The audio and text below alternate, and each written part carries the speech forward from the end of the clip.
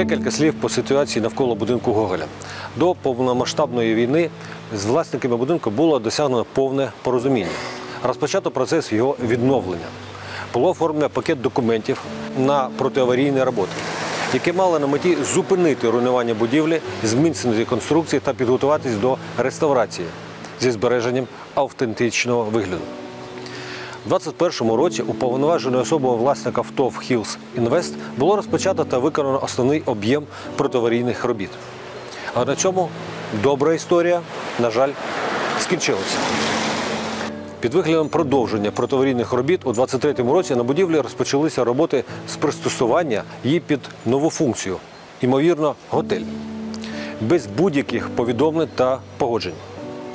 Незважаючи на припис департаменту культури про зупинення робіт, ТОВ «Хілс Інвест продовжував будувати на будинку Гоголя додатковий мансардний поверх. Таким чином, забудовник порушує охоронний договір з департаментом культури Одеської обласної військової адміністрації. А головне, він зневажає українське законодавство, Одесу та всіх одеситів.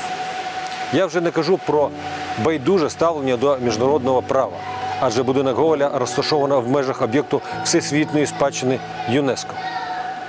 Нам всім потрібно раз і назавжди усвідомити, місто не допустить беззаконня та свавілля.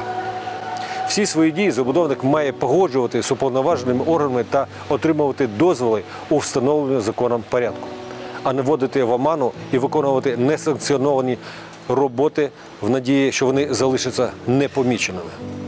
Тож звертаюся до військової адміністрації, Міністерства розвитку громад, Державної інспекції архітектури та містобудування, правоохоронних органів вжити всіх необхідних дій, аби це безчинство було зупинено.